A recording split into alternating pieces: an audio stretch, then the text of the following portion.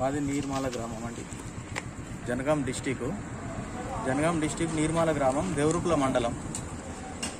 నేను పొద్దున మార్నింగ్ మా అమ్మని ఎస్ఎస్కే హాస్పిటల్లో లక్ష్యాలు పెట్టుకుంటా వెయ్యిలు పెట్టుకుంటా కాపాడుకుంటూ అందులో మన ఒక ఎంపీటీ హోదాలో ఉండి ఒక అధికార పార్టీలో ఎంపీటీ హోదాలో ఉండి నా పేరు మేడ వెంకటేష్.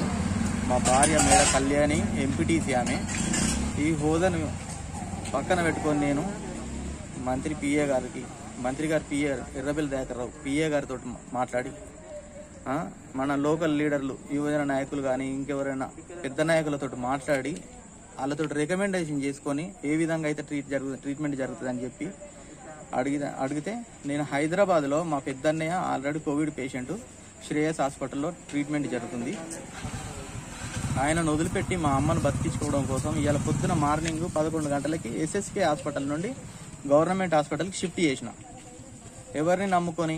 మన గవర్నమెంట్ని నమ్ముకొని. మన గవర్నమెంట్ని నమ్ముకొని మన ఒక పూర్ణచందర్ సార్ అని మాట్లాడిండు. స్పెషల్గా స్పెషల్గా మా అమ్మని అక్కడ ఎస్ఎస్కే హాస్పిటల్కి పోయి చూసిండు. పరిశీలించిన తర్వాత ఇక్కడ పొజిషన్ బాగాలేదు ఇక్కడ ఆక్సిజన్ అందుతలేదు ఏం అందుతలేదు అని చెప్పిండు. Private private దవాఖానలో.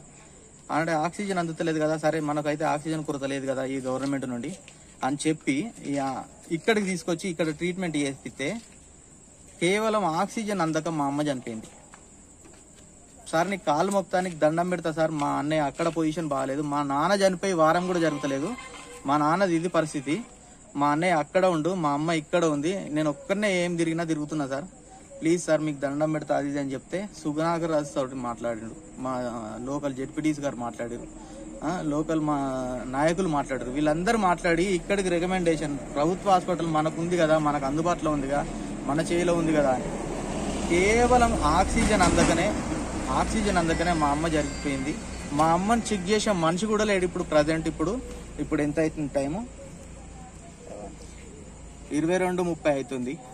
ఇరవై రెండు ముప్పై అంటే పదిన్నర అవుతుంది. ఇప్పుడు అసలు కనీసం ముట్టుకొని ఆమె చనిపోయిందా చనిపోలేదా అని నిర్ధారణ చేయడానికి కూడా ఎవరు డాక్టర్ లేరు నర్సులు లేరు స్టాఫ్ కొరత చాలా ఉంది అందులో.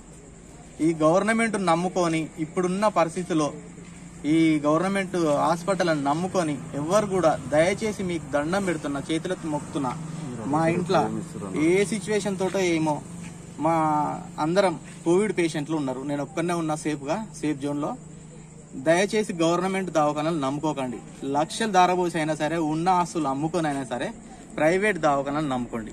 దయచేసి ఇది అందరికి ఫార్వర్డ్ చేయండి ప్లీజ్.